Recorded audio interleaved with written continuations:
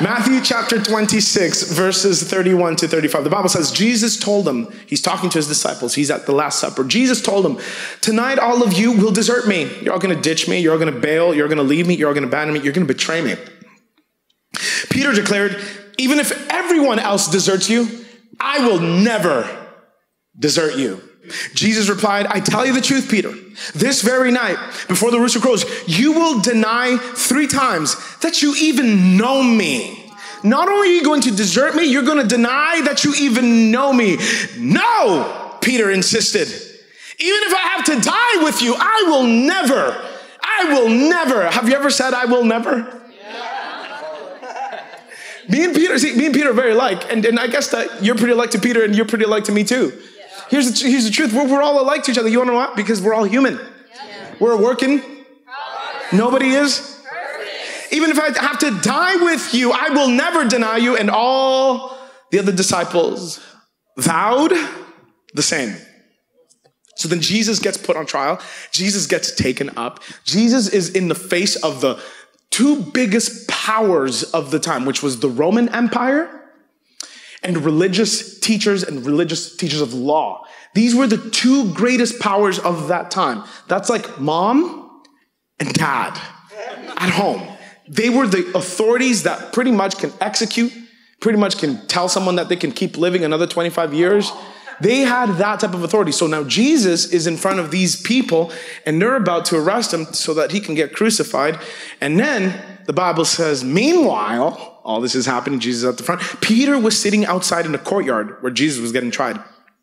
And then a servant girl, can you say a servant girl? Servant Can you say a little girl? A little girl, a little girl tripped him up. And the servant girl came over and said to him, You were one of those with Jesus, the Galilean. But Peter denied it in front of everyone. I don't know what you're talking about, he said. First time he denied, okay? Later on, out by the gate, another servant girl noticed him and said to those standing around, This man was with Jesus of Nazareth. Again, Peter denied it, this time with an oath. I don't even know the man, he said. A little later, some other, some, some of the other bystanders came over to Peter and said, You must be one of them. We can tell by your Galilean accent, by the way that you talk. Hey, man, you can't deny it. We can tell. We can tell. You can. We, you, you can't deny it. Even if you do deny it, we can tell. Peter swore, "A curse on me if I'm lying. I don't know the man." My goodness! And immediately the rooster crowed. Suddenly, Jesus' words flashed through Peter's mind. Before the rooster crows, you will deny three times that you even know me. And he went away, weeping bitterly. Peter was on trial. God put Peter on trial, and God will put you and I on trial. Can you say, I'm on trial? I'm on trial. And this is very important to our process of healing. Because sometimes we don't understand why we go through certain things. We're trying to get close to God, and then all of a sudden everything starts falling apart. We're trying to get close to Jesus. We're trying to come to church a little bit more often, and then everything starts getting worse. And it's important for us to understand why things get worse. And sometimes it's because the enemy is pulling you away from God, the enemy of your soul, which is called Satan, Lucifer, the devil, the slanderer, evil. He wants to pull you away because he hates you, because you were created in God's image and you bear God's image, and he hates God. So he wants to destroy your life, and he will use your iniquities as leverage to destroy you because he knows you're bent. He knows what catches you. If money is not your thing and it's guys, he's gonna use guys. If girls is not your thing and money is your thing, he's gonna use money. If, if, if, if rejection is your thing, he's not gonna use money and he's not gonna use guys and he's not gonna use girls. He's gonna use rejection to keep you imprisoned, to keep you in a place of bondage. And that's why I like the song, I'm no longer a slave. Uh, uh, uh, I am no longer no slave. I declare myself delivered by the power and the blood of Jesus Christ because only the blood has the power to cleanse my life. So, being put on trial is necessary. And you have to have the correct perspective because sometimes we need to know what's inside of us. And being on trial is what allows us to know what's inside of us. God will put you on trial. Before God puts you in your purpose, He will put you on trial. But the thing is that when you're put on trial by God, it feels like everything gets worse. Trials are the tough, tough moments that make our willpower and our good intentions bend. Trials is what makes our good will. Trials are those tough, tough moments that make our good intentions, our good will bend and forsake what we really, really want to do. Trials test us, and the point of a test is to show us results. Can we all agree and say amen? The point of a test is to show us results. And the purpose of results is to show us where we're truly standing in comparison to where we think we're standing. Some of you go, I'm a really good driver. Nah, you're not. Some of you think I'm a really great friend. Let's ask for feedback. Hold up, hold up. Let's ask for feedback. Let's see if you're really there in the tough times.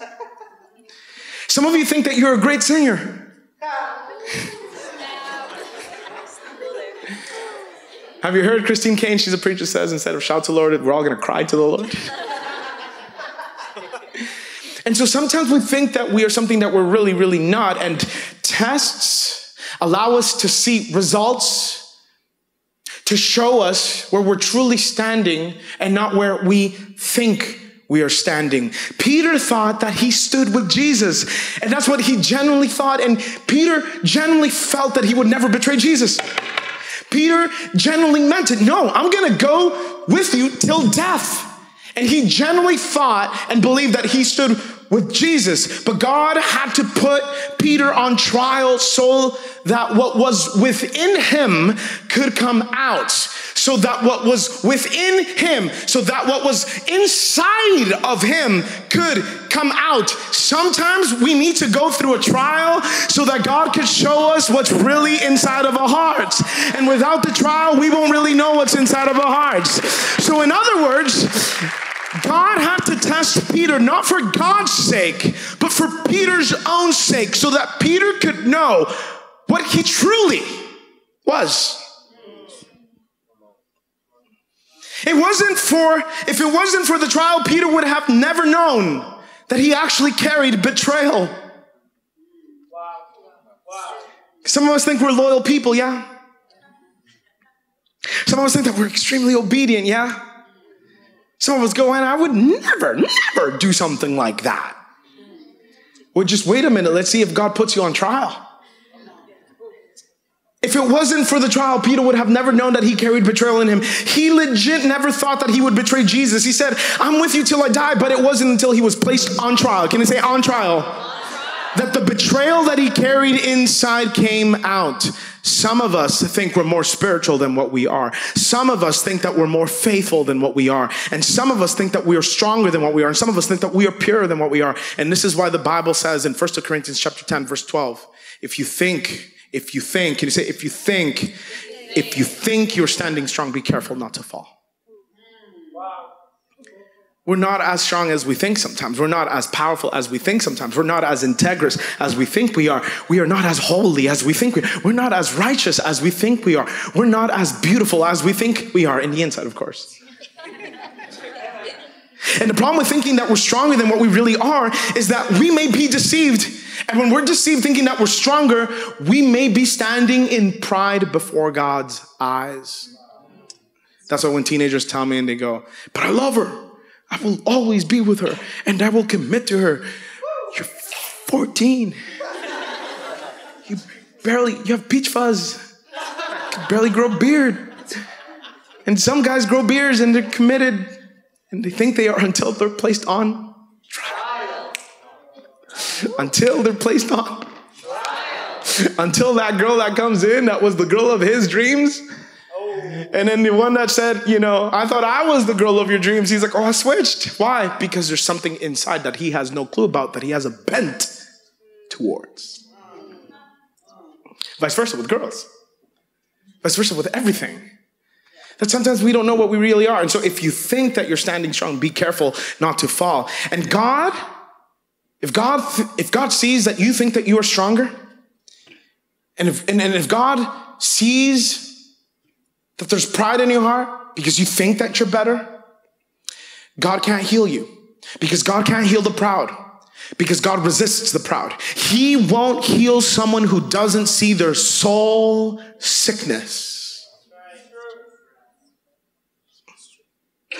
God can't heal someone that doesn't recognize and acknowledge that they have iniquities, a soul sickness.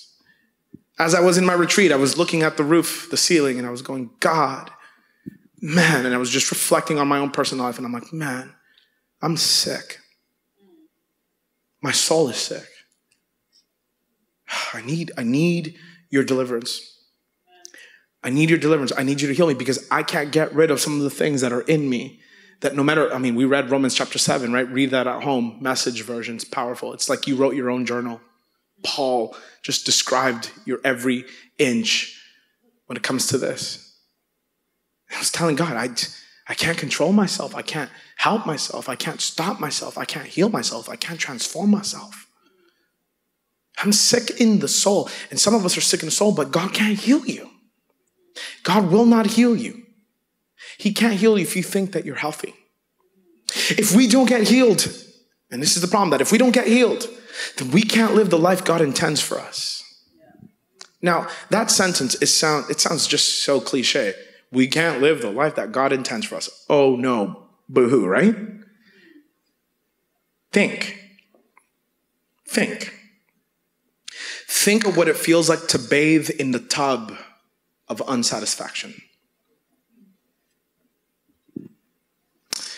If you didn't really understand what I just meant with my analogy or my metaphoric way of speech, think about what it feels like when you're just laying in bed and you're unsatisfied with your life. Think about that. Think about that. God didn't intend for you to live an unsatisfied life. God didn't intend for you to live a mediocre life either. God didn't intend for you to live a good life either. He intended for you to live a blessed life prospered in joy, prospered in peace, prospered in confidence, prospered in wisdom, prospered in understanding, prospered in your family, prospered in your career, prospered with your friendships, prospered with your mouth, prospered with the things that come out of your mouth. This is what God intends for you for you to live enriched, for you to live fruitful, for you to live prosperous, for you to live bright, for you to live a life that actually brings forth channels of living water that come forth from inside out, not an Instagram happy life.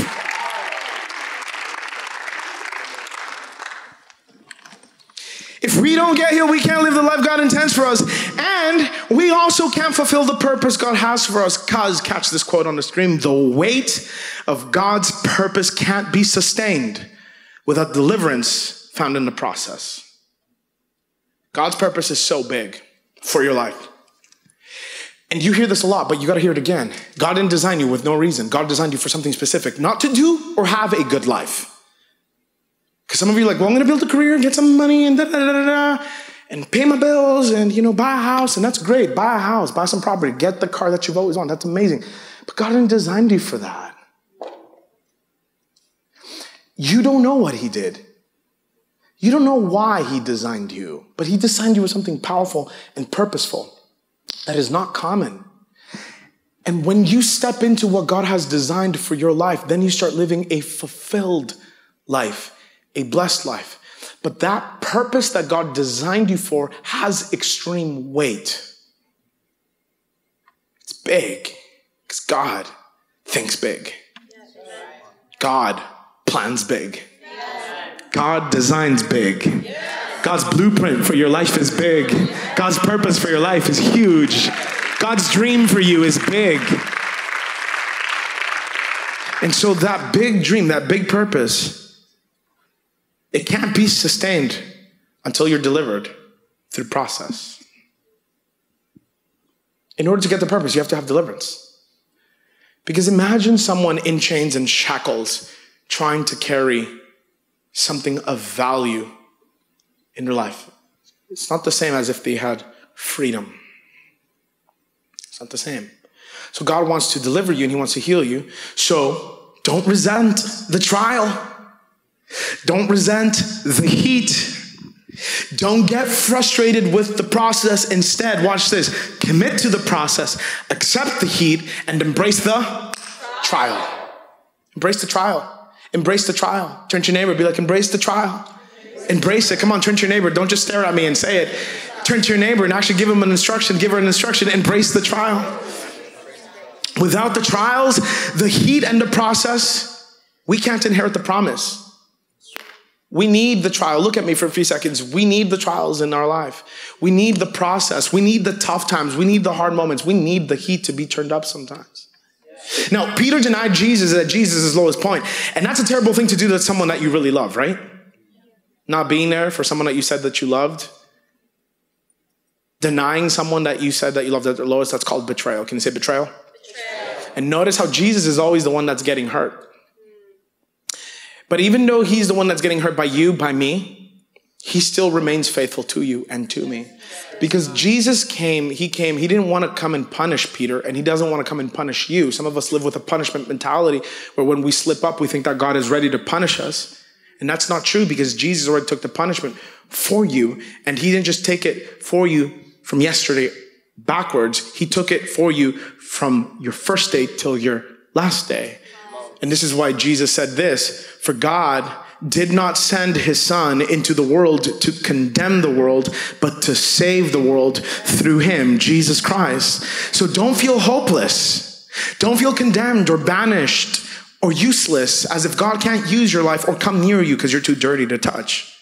Do not feel like you're too dirty to be used by Him or like it's too late for Him to touch your life. Do not believe that you've messed up so much that you've lost all opportunity or like God is sick and tired of you or as if your sin is too much for God to handle. Do not think like that. You are not hopeless. You are not unusable. You have a Savior who redeems, restores, and renews. You have a Savior who redeems, restores, and renews. This is why Jesus, our redemption.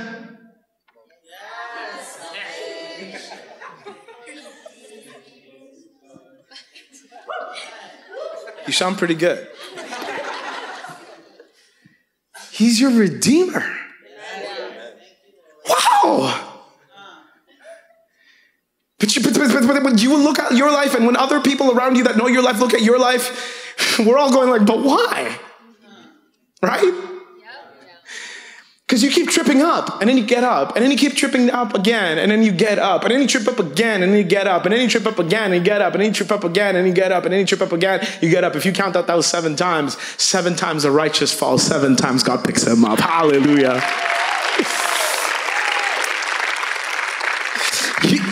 Just because you've tripped doesn't mean that God has discarded you. Someone needs to take that into your heart. It doesn't mean that God is tired of you. It doesn't mean that God is disappointed in you or that He hates you. God doesn't hate you. He wants to redeem you. He wants to restore you. He wants to renew you. He wants to love you. He wants to grow you. He wants to heal you. He wants to deliver you. He wants to free you. He wants to sing to you. He wants to hold you. He wants to hug you. He wants to caress you. He wants to restore your life to the purpose He has called you for. Don't think that God is tired. You can't tire God. He ain't no human man to love like human does. We get tired of one another. God doesn't, though. God is stronger than us. God can love stronger than us. All you need to do is turn your heart to God, and God will set you free. But before He sets you free, He needs to show you what you don't know about yourself. Say it with me. I don't know me. I don't know me. And that's the truth. You think you do. That's when people go like, you don't know me, don't say anything. Child of God.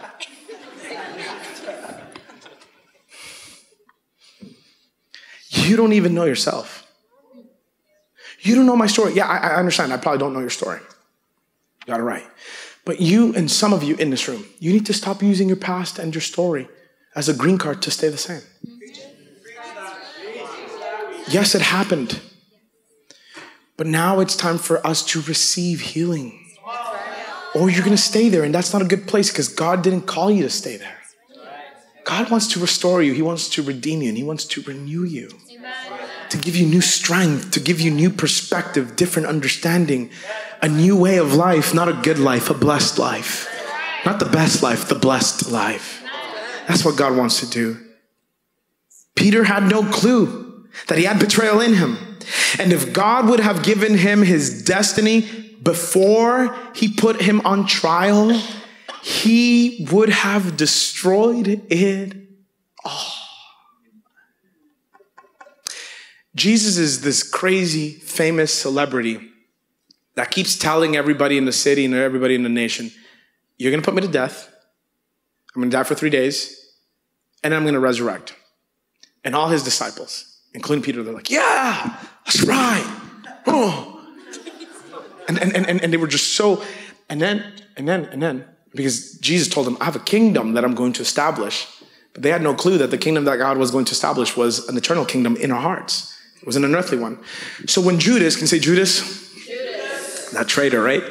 When Judas betrayed Jesus for 30 pieces of silver, Peter's like, We got two swords, Lord. And he took his swords out because Peter thought that God, that Jesus was going to defend the kingdom that he had been speaking about. But Jesus had to go on trial. Jesus had to go on trial in order for the fruitfulness of what we are harvesting today could happen 2,000 years later. And so now all the disciples are like, oh, shoot, our leader's dead. The move is done because the one leading the movement is buried in the ground. And Peter remembered a promise. Peter, P- Peter, Peter received a promise from Jesus, and Jesus was like, I'm going to build my church on you, Peter. You're going to be that guy. You're going to be that leader. When I raise from the dead, when, when, when I'm like back to life, I'm going to build my church on you. You're going to be the main man. So Peter received the promise. Now, if God would have given Peter that promise before he was placed on trial, can you imagine what would have happened?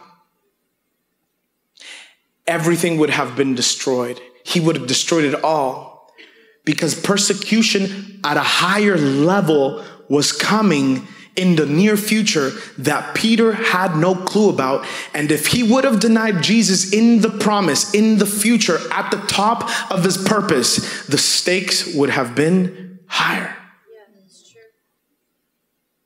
But look at Peter's transformation. When he was confronted with the same issue, association with Jesus.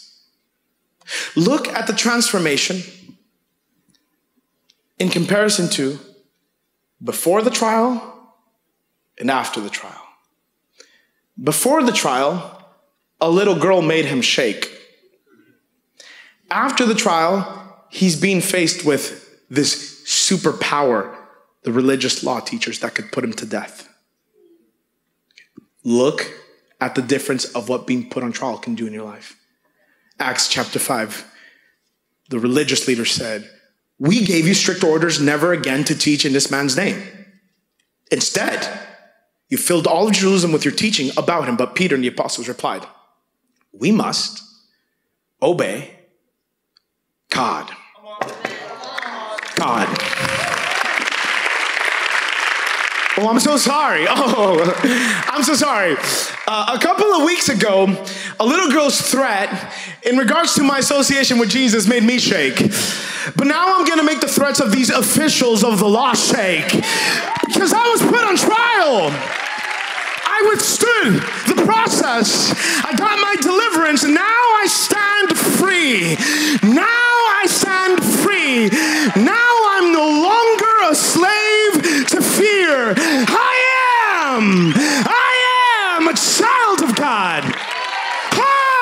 The power of actually sticking through your trial. It can save your life. Your husband's life. I don't have one. he's coming. Your wife's life. Your kid's life. Save a whole generation's life.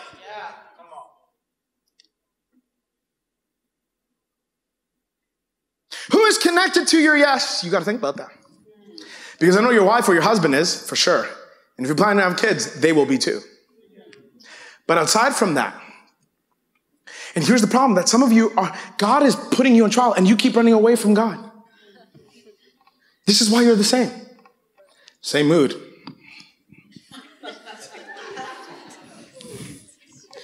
How you doing? Could be better. Next day, how you doing? Could be better. How you doing? Things are getting worse.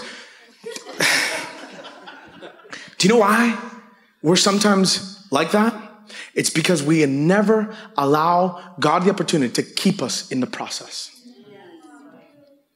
And when God puts you on trial, the transformation is incredible. What you beat today, listen, your trial, your trial, your trial, your trial is your preparation. Stop running away from your preparation. Before the process, a little girl would make Peter shake. After God put Peter on trial, he made the threats of law officials shake. God had to put him on trial first in order to allow the ugly that was inside of him, which is betrayal, to come out instead of having the ugly come out in the future. Your trial, your trial, your trial, your trial today, today, today, your trial today is your preparation to slay your giants tomorrow. You run away, you run away from your trial today, your giants will kill you tomorrow. You all have giants to face.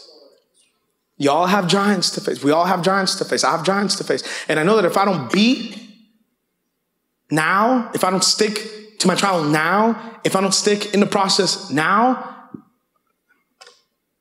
then I know what's ahead. Then I know what's ahead. God will put you on trial. Can I say on trial? In order for you to have a clue about the ugly that you had no clue about. God will put you on trial so that you can have a clue, so that you can have a clue about the ugly that you had no clue about.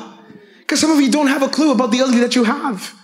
And so God has to show you, kind of like when we squeeze a toothpaste tube, what's in comes out. God, the trial squeezes what's inside of you out and some of you don't know what you are carrying in the inside until God puts you on trial. Listen to me. Some of you don't even know that you carry adultery inside. That one day you'll cheat. Not because you are a bad person, but because that's the inclination of your iniquity, sexual morality. Some of you have the inclination, the iniquity of abandoning. You're not going to be there for your kids, probably because that's an iniquity, that's a bent. Some of you have this inclination that you're not satisfied with one person, so you move on to the next person, you move on to the next person, and then you go on to another relationship, and you that's an iniquity that you carry that Jesus needs to heal you from. Some of you have an attention deficit that you will do whatever it takes to receive attention. Some of you see the opposite sex like trophies. If I don't get him, mm, I need to get him. Oh, I see that. God will put you on trial in order for you to have a clue about the ugly that you don't have a clue about. When God puts you on trial, it's not a sign that you're discarded or hopeless. It's actually a sign that God is going to heal you and deliver you so that you can go to your next level. Being put on trial is a good sign. God is prepping you. So, what should you know when you're put on trial? Here are four things that you need to do, need to know. Number one, the trial lets you see the ugly, which we've established quite well. Let me go a little bit deeper. We start doing things we had no clue that we would do. We start acting up in ways where we go, What the heck is wrong with me? Man, I thought I was stronger than this. Yeah, no. God put you on trial. God put you on trial. He's testing you so that the test can bring results. And results are not for God's sake, the results are for your sake. Aren't you glad that the bus driver that drove you to church today passed his test? Aren't you glad that all the other drivers that you drive with kind of passed their test? God has to put you in trial because He has to get off. He has to get us off our high horse to let us know that we aren't, we aren't as strong as we thought we are. You're gonna start seeing how sinful you really are. You're gonna start seeing how dark you really think. You're going to start seeing how sick your soul really is. Jesus said, The healthy do not need a doctor, it's the sick that need the doctor. We need Jesus Christ. We need Jesus Christ. We need Jesus Christ. Meaning that we're sick in the soul.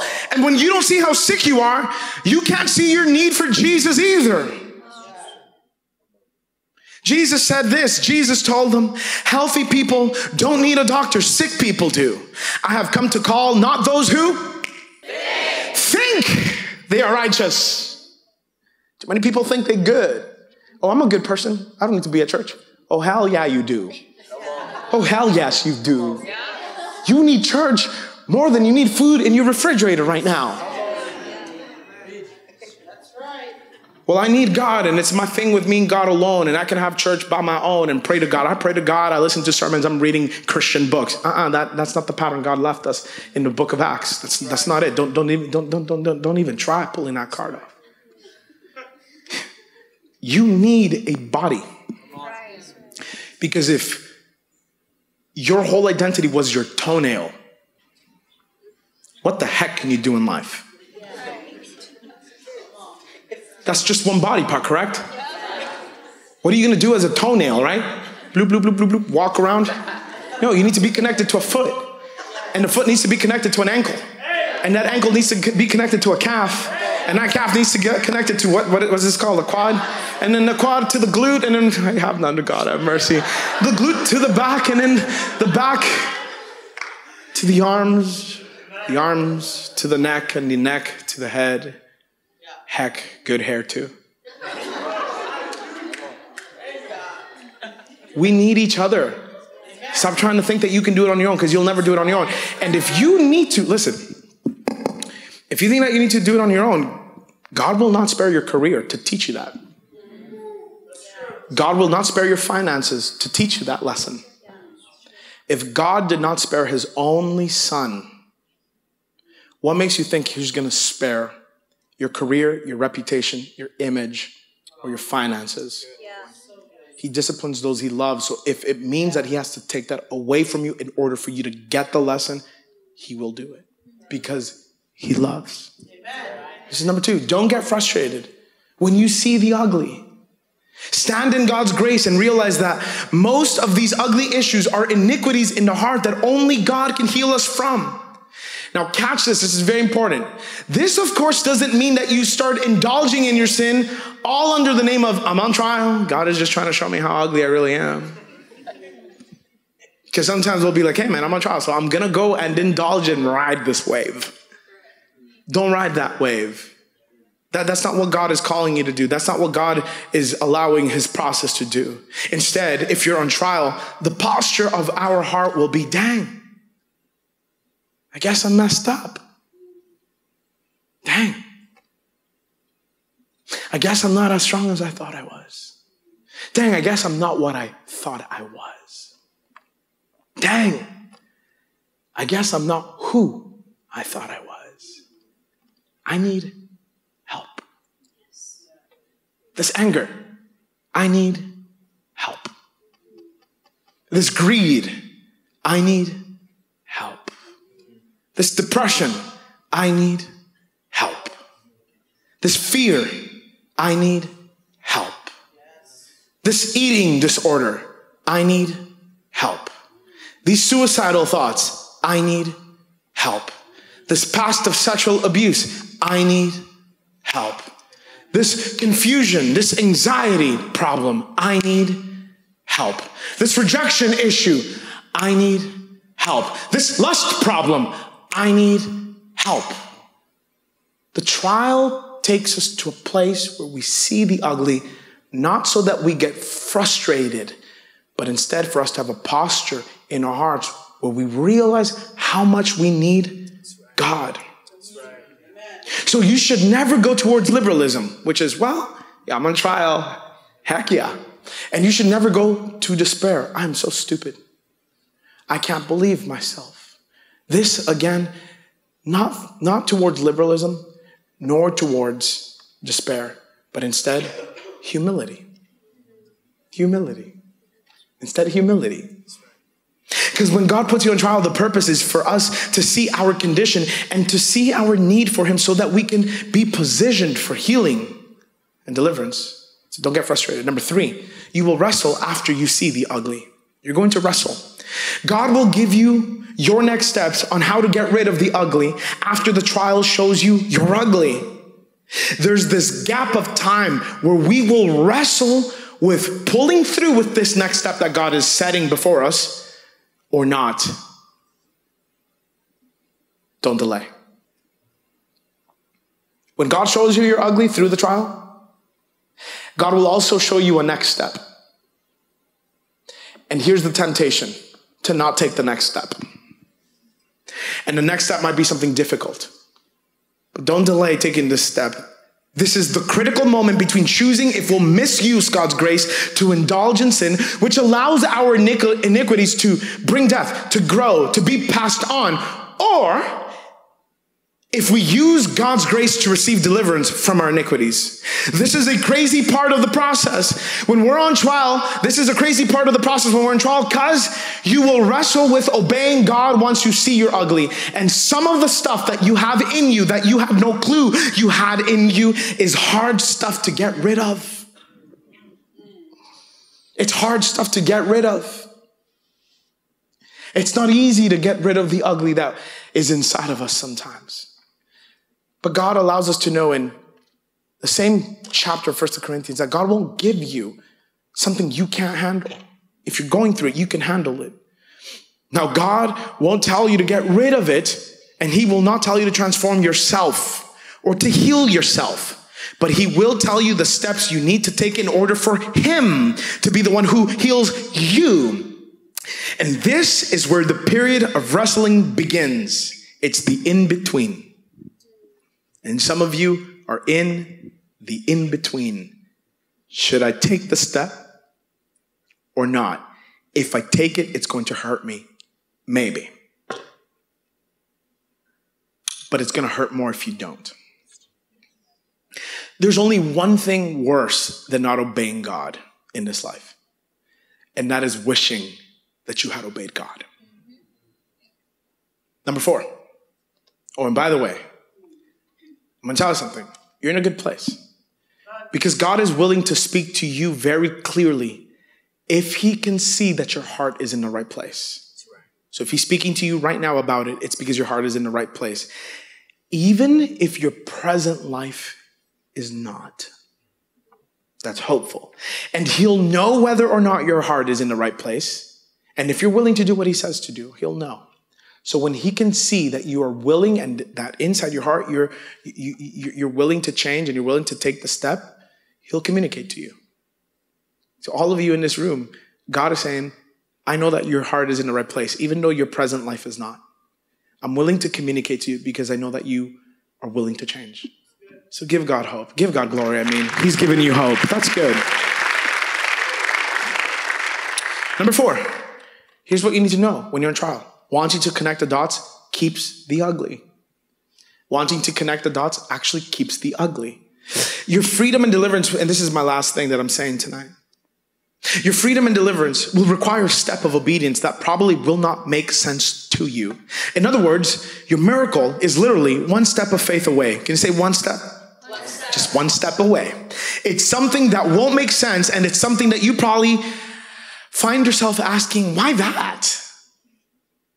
Is he asking me to do this? Why that thing? And you might want to connect the dots. Why this thing? How does this thing, that thing equal my healing? How does that thing, this thing equal my deliverance? And it's because God wants to get the glory. Say amen. God wants to get the glory for your miracles so that our rational minds won't pin the credit on something we can add up. But instead, it has to be something that won't make sense so that in our hearts, we know it was God alone who did it. If it makes sense, you might give credit for it to being rational. But if it's irrational, you have no choice but to give the credit and the glory to God, and your heart posture will be one of thankfulness. This might be something God has been speaking to you about for some time now. This step. This step might be something that you know you need to do because you've probably been feeling it for a while now. It keeps popping up. It keeps coming up. It keeps being mentioned. It keeps coming to you. The thoughts keep coming. It's a step that keeps happening inside your head, inside your heart. And this is God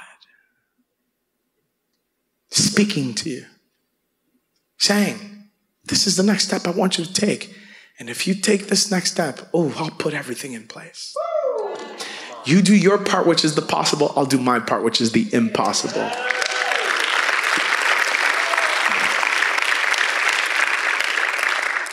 And so you still may wrestle going, how does that equal my healing? And you can't seem to connect the dots, but you don't need to because all you need to do is trust. And once you do what he's calling you to, God will unlock the healing and deliverance and the miracles that you need right now. And see, if you're trying to connect, if you try to connect the dots in order to obey God so that you can receive your healing and your deliverance, all you're going to do is keep the ugly. Because without faith to obey God, God can't remove your ugly. If you don't have faith and you don't obey, God can't do it because you limit Him through your lack of faith. Faith is not just a feeling, faith is an action. And God is asking you, Will you have faith that I can heal you and deliver you? And you're going, Yes, I believe. And God goes, uh, uh, uh. I never said believe. I said, Will you have faith? Because faith has legs and it walks. Right. We live by faith, not by sight. Right. Meaning you got to take a step. And that step God keeps bringing up to you through conversations, maybe through dreams, maybe through when you're reading something, it just pops up, maybe through a thought, maybe through people just texting you certain things, maybe a post on Instagram keeps popping up, or something on Instagram keeps popping up, and God's trying to get to you through Instagram because you won't reply to his DM. The only connection that you need to make in this season is my healing is connected to my obedience. My healing is connected to my obedience. My healing is connected to my obedience. Your healing is connected to your obedience. So here's my conclusion. And thank you, worship team, for coming up. God will put you on trial. By the way, I'm reading a lot because if I elaborate on this, we'll be here forever. God will put you on trial to show you the ugly inside of you. Say amen. All right, focus, okay? You back in?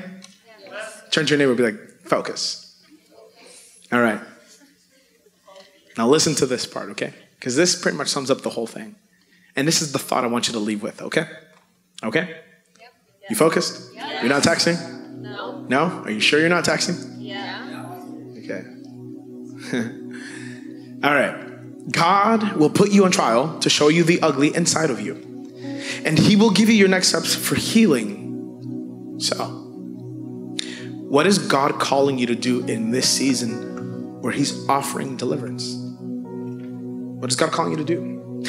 Is it to remove specific people from your life? Is it to end a relationship that He's been stirring you to? Is it to be generous so that you can break the power of greed? Is it to let go of a job? Is it to step into accountability? Is it to commit to God's kingdom? Is it to get away from life's noise and get with Him for a little bit? What are you wrestling with? What are you wrestling with? What is God calling you to in this season? All I can tell you is this if you obey what He's been nudging at your heart with, you will not regret it. And you will live a fulfilled, blessed life of freedom.